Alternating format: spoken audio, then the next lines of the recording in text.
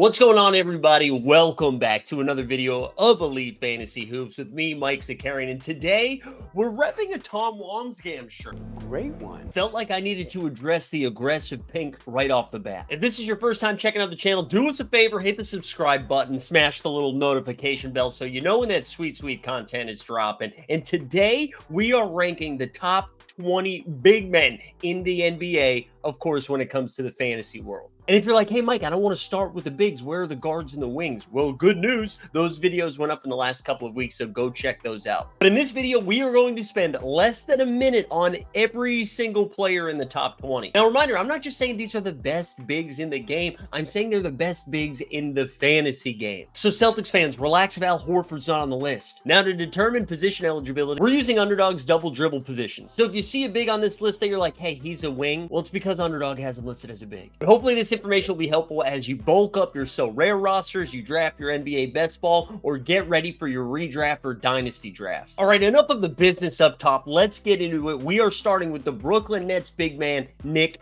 Claxton. Now, Claxton is coming off a season with the Nets where he averaged 12 points and 10 rebounds. Now, Claxton making the top 20 honestly says more about how quickly this position drops off than anything else, because I don't think I'm a huge fan of the fantasy upside of Nick Claxton heading into this year, just because I really don't know what the Brooklyn Nets are going to be doing. They have no incentive to win. We saw Mikal Bridges go across the Brooklyn Bridge. He is now a part of the New York Knicks, and the roster's just super weird. Is Ben Simmons going to play? Is Dennis Schroeder really leading point guard? Will Cam Thomas average a thousand shot attempts per game? So I think Nick Claxton is fine. If he's going to give you a double-double night in and night out, that's consistency we can count on. But I don't think I'd want him to be my main big. He's a good number two big on whatever type of roster you're building out. And we've honestly already talked about the Nets too much. So let's move right on to number 19. It's the Phoenix Suns big man, the hands of stone himself, Jusuf Nurkic. Nurk coming off a pretty productive season for the Phoenix Suns, averaging a double-double with 10 points, 11 boards, and also up to four dimes. Now, Nurk Nurkic can be infuriating because he's not super consistent from the free throw line. And my God, he loves to miss those bunny shots. But in that high-powered, high-octane offense of the Phoenix Suns with Kevin Durant, Devin Booker, Bradley Beal, Tyus Jones running the point now, Nurkic should find him way into easy buckets, easy putbacks, and he is going to rebound the heck out of the ball because he's the only man on the roster that can rebound. In Underdog's Best Ball Tournament, Nurkic is currently going 83rd overall, which feels a little bit rich, but to me, he's the last consistently producing big man that you can draft. Now, this next big comes in at 18, and it's only if he's properly salting his driveway come wintertime. And that's the Portland big man, DeAndre Ayton, who famously missed the game because he couldn't get out of his driveway because it was too icy. Now, Ayton's in a weird situation, sort of similar to Nick Claxton and the Brooklyn Nets, where the Portland Trailblazers have zero incentive to win. They also have a ton of big dudes, right? They've got the Time Lord, Robert Williams. We don't know how healthy he is. They just drafted the big man Donovan Clingan, but Ayton, especially down the stretch of the second half of the year, was dominant. He finished the season averaging a double double of 16 points and 11 rebounds a game, and he falls into this weird category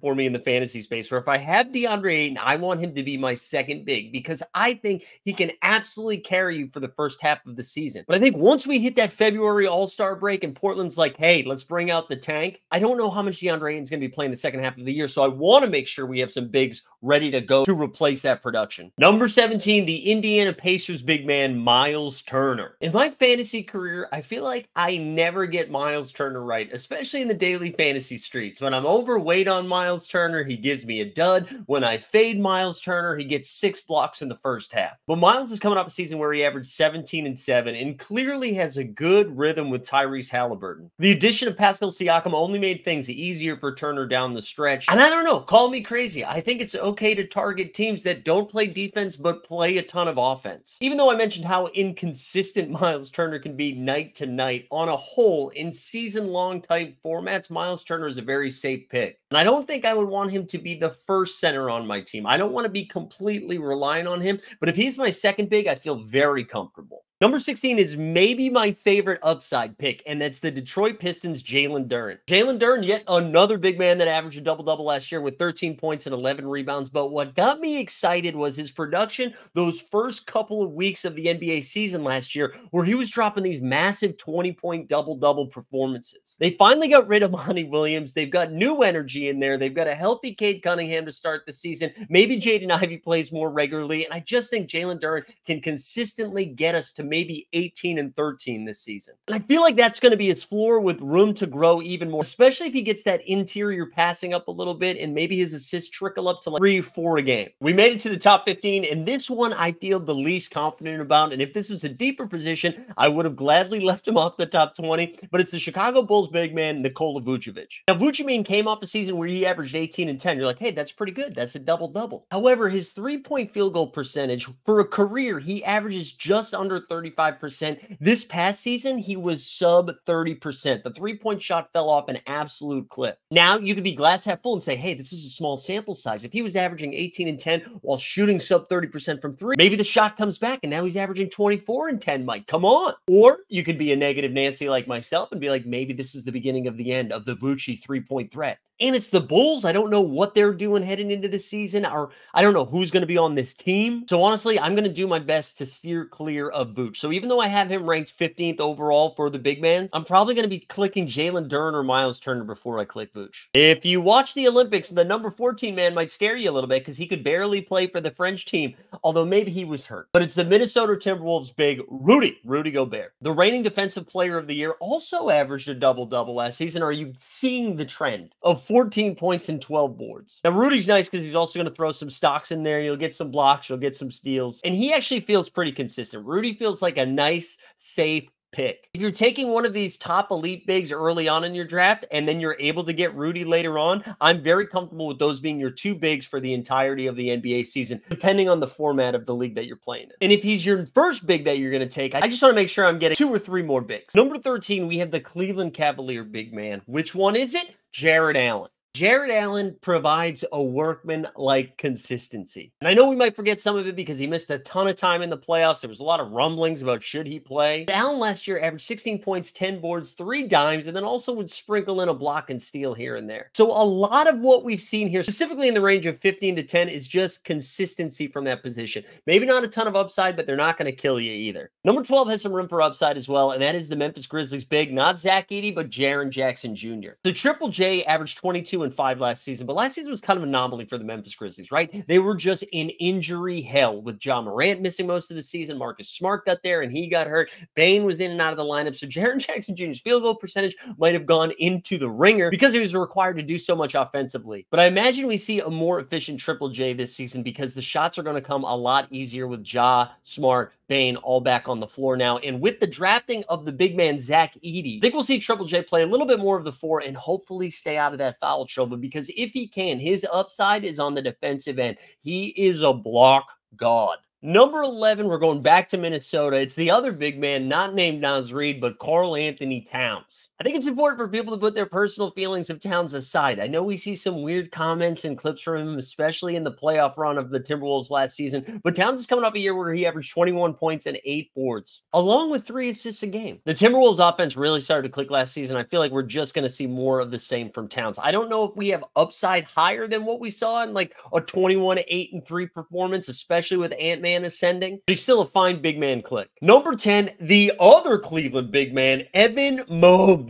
Evan Mobley. Now, again, this is a bet on upside. Maybe I got too excited from what I saw him do to the Boston Celtics in the playoffs when the Cavs ultimately fell in five games. But Mobley just looked like a different guy. They've got Kenny Atkinson in there now who knows how to coach up his bigs. And he's coming off a season where he averaged 15 points, nine boards, four dimes. And of course, he throws in some blocks and steals here and there as well. Now, maybe this is just my personal bias. I'm too in on Evan Mobley, and I feel like we're about to see a ceiling season from him. So this might be the most controversial one of putting him ahead of guys like Karl-Anthony Towns, Jaren Jackson Jr., maybe even his teammate Jarrett Allen. But I'm believing we're seeing ceiling Evan Mobley this year. Number nine, the OKC second year guy who also finished second in Rookie of the Year, Chet Holmgren. Now, if you're in the underdog streets and you're doing best ball, you're going to be like, wow, Mike, you have Chet Holmgren ninth overall? Because according to underdog, is the sixth big coming off the board and going 19th overall. And listen, before the hashtag Thunder Up community comes at me, I'm pro Chet Holmgren. I'm a big Thunder fan. I'm a big Chet Holmgren fan. I think he's going to have an awesome year this year. And heck, he's coming off a rookie season where he averaged 16 points, eight boards, two dimes, and like three blocks per game. And I'm sure going into his second year, he's going to take a little bit of leap as well. But I don't think I can just justify taking him ahead of some of the other bigs that we're going to talk about, mainly because of how the OKC offense worked. They also have the addition of the former Knicks big man Isaiah Hartenstein, who again, I think they probably end up playing together for minutes. Isaiah at the five, Chet at the four, then Chet plays the five and Isaiah's on the bench. So who knows? Maybe I could eat my words here, but I just think the draft capital is a little too rich for Chet Holmgren right now. But I'll be curious to hear from you. So let me know in the chat. Do you think I have Chet way too low here? And the next couple names I rattle off, would you prefer to take them over Chet or Chet over them? Let's keep it moving. Number eight, Heat Culture, Bammy Adebayo, baby. Bam is such a peculiar fantasy basketball player because the highs are oh so high, and then he'll be in these smash spots where you think he'd absolutely dominate, and then he takes like four field goal attempts. It's absolutely infuriating to sweat.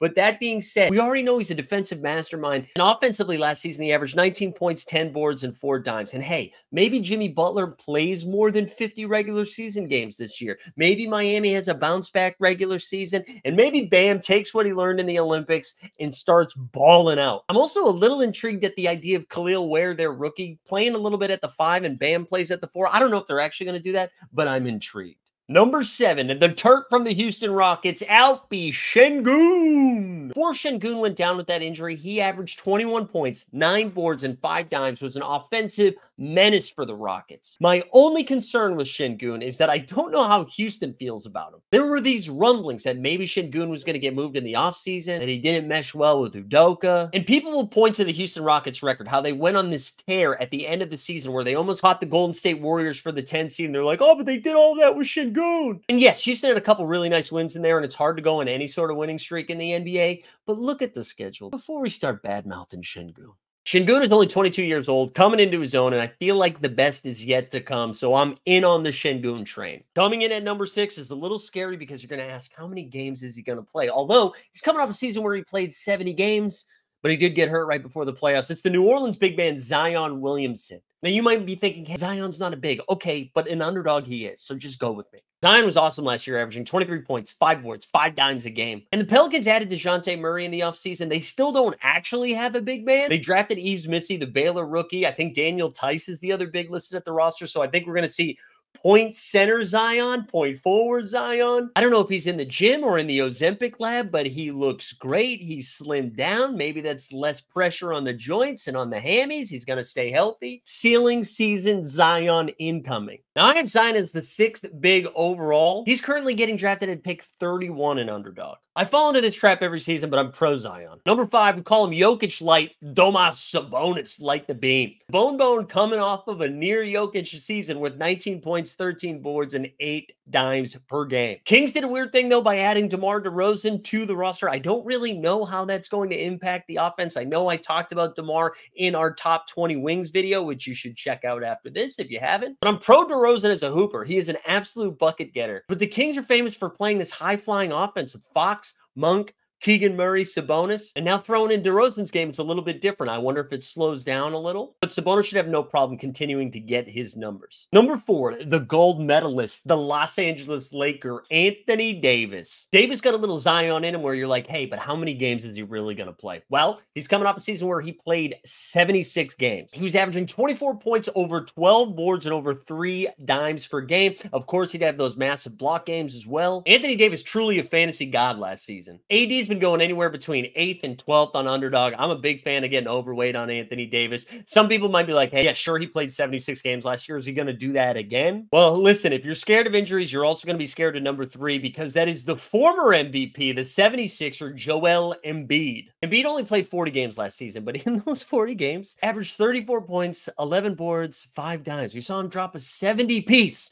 on the San Antonio Spurs. But the biggest concern with Embiid is how often can he stay on the court? Are the 76ers finally going to come to their senses where they're like, hey, we don't need to care about the regular season. We just need to have Embiid healthy as we head to the playoffs. And maybe by, by adding players like a Paul George, by all those other role players they picked up, they can take some of the pressure off of their big man to do so much of the offensive lifting early in the season. However, we've all known this the whole time, and they've yet to do it. So, yes, the ceiling of a Joel Embiid is he could finish first overall in fantasy scoring. But the floor is that he plays 35 to 45 games and then just kills your team. Some people might boo me here for number two because they think he should be number one. And I know it's the sexy, exciting pick to say we're taking him number one overall. And that's the San Antonio Spurs big man, Victor Wembanyama, coming in at number two. Wemby coming off a bonkers rookie season where he averaged 21 points, 10 boards, four dimes. Also, like throwing in four blocks a game. The Spurs also added a point guard that knows how to pass in the ball. No disrespect, Tre Jones, but a little disrespect in Chris Paul. However, Chris Paul is my age, so who knows how many games he's going to play. But I get it. I think what we've seen from Wemby, even in France, what we saw in the Olympics, is that Wemby is going to have a monster ceiling. And, and I'm sure in no time he is going to be my number one pick overall. But I think right now I'm going to keep him at number two, which shouldn't be disrespect because this isn't just the number two big man overall,